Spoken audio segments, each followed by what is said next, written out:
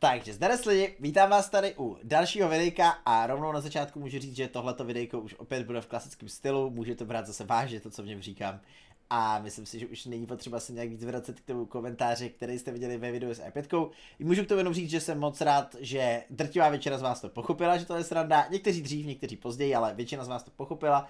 Samozřejmě vždycky budou lidi, kteří prostě jsou trošku někde jde, ať už stylem humoru nebo prostě smyslem pro nadsázku a sarkazmus. Každopádně eh, reakce na ten video bylo byly o dost lepší, když jsem čekal, takže vám za to díky. Eh, neplánuju taky videa nějak dělat dál v budoucnu, protože si myslím, že opakovaný vtip přestává být vtipem, a takže už by to bylo asi trošku moc na sílu. A, takže každopádně za to díky za ty reakce. No a dneska tady máme replay s Leopardem, kde uh, si myslím, že zase po nějaký době uvidíte zajímavou bitvu, hlavně co se týče endgameu, uh, na mapě, která už tady myslím jednou byla, myslím, že tady jeden replay s Vekou, ale nebyla tady ta mapa ještě s Metkem. A myslím si, že, no, chtěl bych říct, že vám může tato mapa ukázat, jak to hrát, nebo tato, tenhle ten replay ukázat, jak tu mapu hrát, ale bohužel si za tím tvrzením asi nedokážu úplně stát, protože uh, ta bitva se vyvede tak docela nestandardně. No, uvidíte sami. Jenom bych tomu dodal jednu věc, já jsem uh, ten replay už uh, teda pustil celou pauzu. Každopádně uh, setup na tom tanku je uh, bonový nabiják, je tam trofejní vylepšený zaměřování a stabilizátor. A všechny polňáky na přesnost. Takže uh, tato bitva je hraná s Leopardem, který, uh, který vlastně obětuje DPM za přesnost děla. Chtěl jsem zkusit tenhle ten setup, odehrál jsem s tím setupem asi 15 her. Můžu říct, že nejsem úplně přesvědčený o tom, že se to vyplatí, protože i tak ten tank nikdy netrefoval. A i bez tady toho setupu si myslím, že je dostatečně přesný a to DPM se může hodit. Takže je to na vás, nedokážu vám říct, zda bych to doporučil, jsou lidi, co to tak hrajou. Na můj herní styl asi ta přesnost není až tak potřeba. Tak, eh, něco k té mapě. Já nevím, kde je s dobrá pozice. Nedokážu vám to říct. Jediné, co vám říct dokážu, je to, že když pojedete tady semka nahoru, tak bude někdo stát proti vám. Ty křoví moc nefungují a jakmile budete chtít hrát, tak eh, to s váma špatně dopadne. Proto já jsem měl tady semka, eh, absolutně neříkám, že tohle je dobrá pozice, jo. To ani náhodou. Ale občas se tady povede někoho chytit, když jede tady touhletou cestou takhle, to, o co se snažím teďka, proto tady takhle vylejzám. A um, jako jednou za čas se tady může něco povíct, záleží na tom, co dělají vaši skauti a teda a teda a teda. Takže začátek té bitvy je bohužel neúplně nějak revoluční nebo zajímavý, protože tady prostě s Metkem mám pocit, že nejde úplně nic moc vymyslet. Co je trošku nestandardní je to, že tady jde ta E5 jejich nahoru, po vlastně sim, zrcadlový rampe, jako na který stojím já. To není věc, která by se dělala často, takže to samozřejmě je zajímavý, a ještě tady uvidíte, že já se toho budu snažit nějakým způsobem využít, jako třeba teď, ale to byla špatná rána, tady jsem určitě měl mířit do uh, té kopule. No a naše Arta už ho tady začíná řešit. Bohužel teda střílí uh, hečka, co nestanujou a ještě nedávají splash, takže nic nedal. Žádnou damage. No a samozřejmě to stejné, co se děje teďka té E5, se může dít i mně za chvíli, takže já si budu muset dávat bacha. No a zatím tato pozice je taková, jako že čekáte, co se tady objeví, nějaký scout a tak. No, tak samozřejmě, když se objeví, tak toho využijete.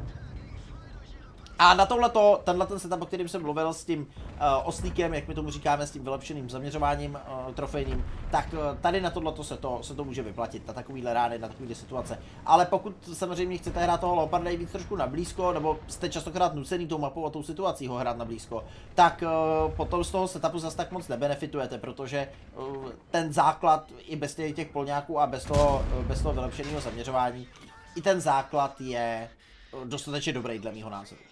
Tady jsem se neopravil, chtěl jsem si ty opravy pošetřit, asi je to diskutabilní, mohla mě trefovat ta 105 zleva, mohla mě trefovat i Arta asi, ale nakonec to teda takhle vyšlo. Takže zatím bohužel musím čekat.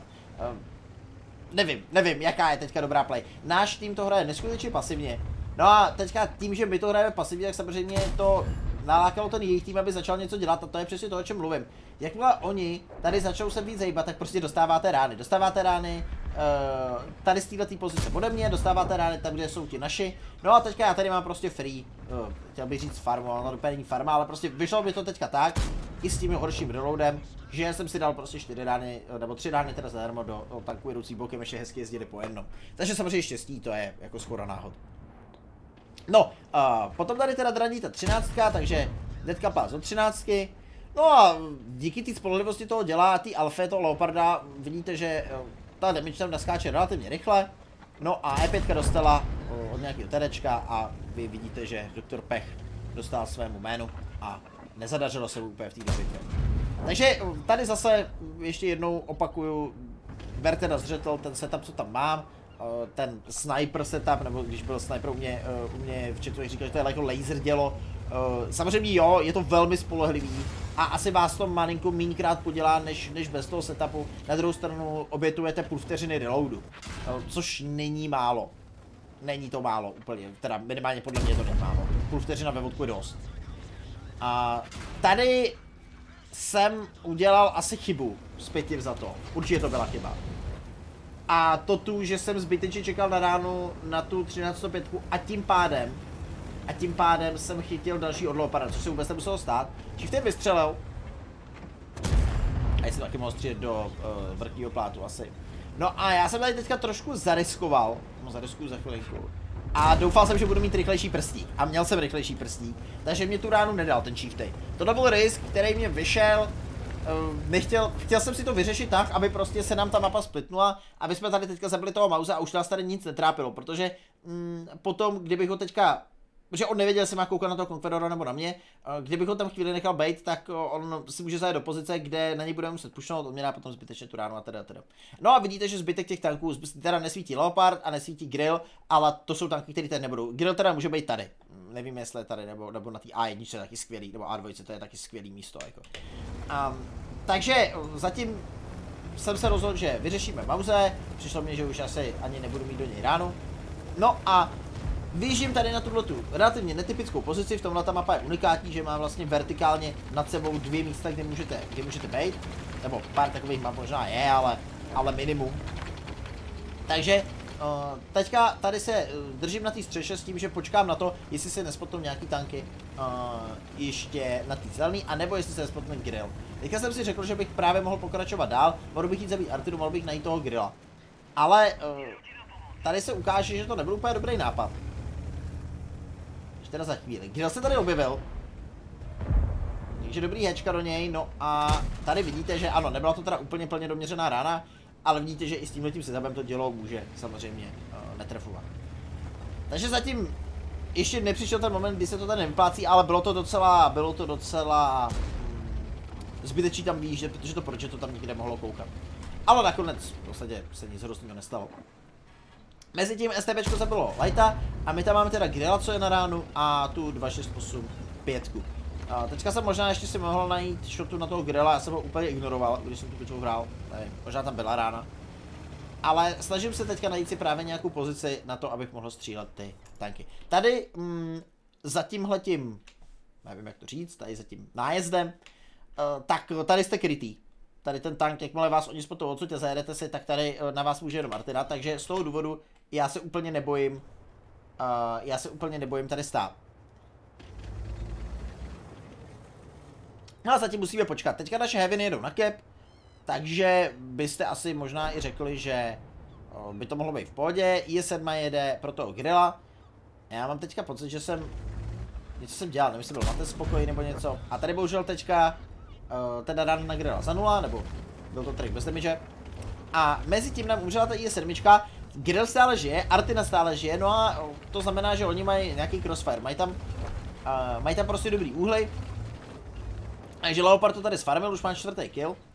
No a najednou ta bitva se nám nevyvíjí úplně dobře. 2685 už je na ránu, teď jsem tady uh, úplně zaspal toho Sheridana, ale naprosto jsem ho zaspal, naštěstí to nevadí, jsem si ho všiml teď. Padlo mi 424. No a pořád tam teda žije ten vzor a ta E5. Vzor má 500, E5 nevíme. E5 teda zabila Artidu, to je velmi důležitý. No a stále je tam ten grill. No já teďka nevím, nebo jsem nevěděl, jak ta bitva bude probíhat, ale čekal jsem, že to STBčko pojede na base. A že pravděpodobně ten grill a nevíme dlouho o tom projektu, nemáme žádný info o tom projektu.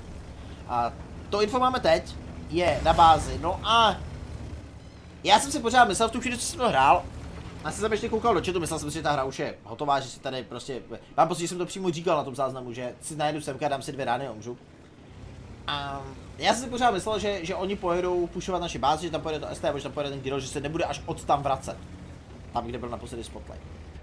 No, jak nám příští minuty ukážou, tak jsem se mýlil.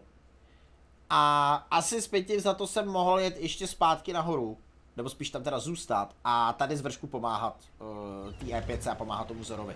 Uh, tohle je rozhodnutí, který prostě bylo špatný, asi takhle jako zpětě za to, když vidím to, jak se to vyvinulo, tak to rozhodnutí nebylo dobrý, jim nejet pomoc, ale uh, v tu chvíli prostě mě nedošlo, že oni by se všichni mohli vracet. Myslel jsem si, že prostě pojedu na kem. Takže, uh, ano, přepočítal jsem se. Nebudu si nic nalhávat. Tak, uh, tím pádem zbývám teda já Artina proti Leopardovi, Projetu, STBčku a dvěma grillům. No a tohle je asi tak jediná pozice, ze který se dá něco ještě udělat. Uh, protože tady, když se podíváte, kam to člověk vidí, tak já vidím vlastně úplně na všechny příjezdové cesty, úplně všude já vidím. Uh, s tím setupem i tak mám 460 metrů view range, takže grill spotu bez problémů. Leopard s Leopardem to bude horší, s STBčkem asi taky, ale pořád bych je měl bez problémů outspotnout a vědět, vědět odkud jedou. Tady první chyba. Teďka jsem mohl v pohodě vystřelit APC, já jsem byl greedy, dával jsem si tam intuici, tak abych dal Gečko do toho grilla. Když se podíváte na jeho hápka, on je na 3 APC. Um, já jsem si tu, tu chvíli jakoby nespočítal, to je něco, co vidím teďka na replay. Ale je na 3 APC, pokud by padaly průměrný roly, actually není. 3x420 je 1260, 1270. Dobře, není úplně na 3 APCR. Každopádně místo toho, abych ho trefil APCRkem, tak jsem ho netrefil Hčkem a to si myslím, že každému dojde, že není ten trade, který chcete. Takže teď jsem se spotul, uh, jejich tým ví, kde jsem. A Grill jede dál. Teď už to Hčko uh, udělalo nějakou paseku, ale bohužel to byl low roll. Protože mám 510 alfu. Takže jiná rána do grilla. No a dobrá zpráva je ta, že Leopard má 18 HP. Druhá rána do grilla. On nikdy, nikdy ty hráči nestihnou zareagovat. Nikdy. To ani náhodou, aby stihli zareagovat. Teďka jsem se snažil si tady vyjet, přesně aby se stalo tohleto. No a teďka v tenhle ten moment už to vypadá, že je asi Ende Schluss. Uh, sice one shot a one shot, ale je tady Projeto, který je na dvě, má autoloader. Uh, pak samozřejmě někde to STBčko, teď už ta bitva nemá nějaký velký potenciál uh, na to, aby se tím něco udělal. No ale, jak to tak bývá, jak to tak bývá, tak ono, hráči na randomu nejsou někdy úplně nejbystřejší. No a proč to mě dalo jedno a než zamířil tu druhou, tak já jsem si to nabít, i bez toho DPM setup. A ten druhý grill je na dvě rány a já teďka musím jít pro killy a ty killy musím dávat hnedka. Takže jeden kill do Leoparda, předtím než se začne vystřelit. Tady je grill. Bylo by hrozně fajn ho teďka píknout. Ale já tady prostě nemám depresi. O mě mysnul, samozřejmě štěstí ještě tady nějaký bude, stejně tak jako bylo štěstí, že by to dalo za nula. To všechno se nad nás čítá. A já jsem možná toho grila nenašel depresi, takže se snažím teďka změnit si pozici. A najít toho druhého grila, o kterém vím, že je na ránu. A mezi tím STBčko bylo spotnutý na tom midu. Takže já teďka zkusím, zkouším tady nějakou nenápadnou ninja taktikou. Najít nějakou pozici proti těm grillům. No a teď to nevypadá vůbec dobře, Protože to STB mě spotlo. A naštěstí tady jsou ty kontejnery. Že já se teďka snažím, jestli nemám ránu přes ně. A teďka je to samozřejmě prekární situace, protože jakmile se tady z této pozičky nějak víc pohnu, tak to STBčko do mě může mít ránu. A pak jsou tady dva grillové. Samozřejmě, že já musím jet po tom grillovi, co, má, co je one shot. To jinak nejde. Um, kdybych dal ránu tady tomu, tak on mě ji vrátí a pak ji dopne ten druhý. Takže musím to dělo vyřadit ze hry. To je teďka jasný plán. Takže, to teďka udělám, no a teďka jsem udělal asi trošku chybu. Protože samozřejmě jsem se nesoustředil, no a e, potom jak jsem ho zabil, jsem nejel dál dopředu. Kdybych jel dál dopředu, tak věřím tomu, že tenhle ten typek by mě nestačil trefit. Ale to už je takový, co by kdyby, on by možná měl tu rychlost na to, aby mě stejně obtočil. No a zase, kdybych jel dopředu, tak mi možná dá ráno to STBčko, pak už budu na ránu toho grilla. No, vyšlo to takhle, tak prostě ta situace. Takže já teďka nabím. A ten kdo to udělal dobře, hlavně ráno a zajel si. A já tím pádem ještě zase zkouším zdrhat. A zkouším využít toho, že to STBčko je někde pryč.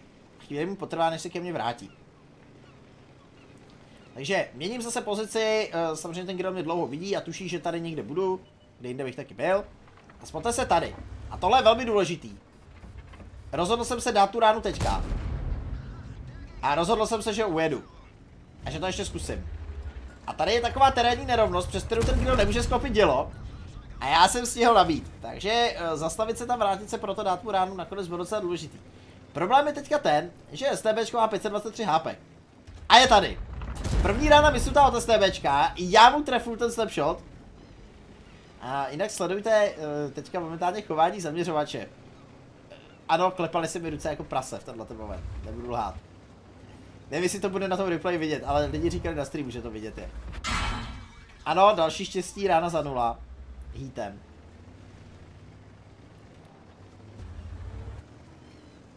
A zkouším ho nabejtit na to, aby si vybral nějakou špatnou pozici. A to se naštěstí stalo. To se naštěstí stalo. A Stress Tiger 2, což byl jeho nick, to naštěstí prodal.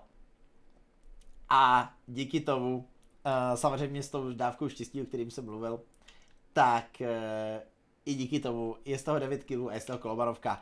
Asi to mohli určitě zahrát líp, nemyslím si, že to hráli zase tak špatně, tady byla hlavní chyba toho Projeta, první ránu dal za nula a druhou nestihl vystřelit, protože prostě nebyl schopný aimit tady kolem toho bagru, nebo co to je. A což je, což je určitě jako jeho misplay. Jinak si myslím, že jsem udělal asi maximum určitě s nějakýma drobnýma chybama, ale on ten stres tady v těchto těch situacích vzhledem k tomu, že se k tím, nebo že se do nich nedostáváte úplně často, je docela velký. Takže z toho důvodu to potom vždycky není úplně dokonalý, ale tak jsme jenom lidi. Takže doufám, že vám tato bitva uh, něco dala, nebo vás aspoň pobavila.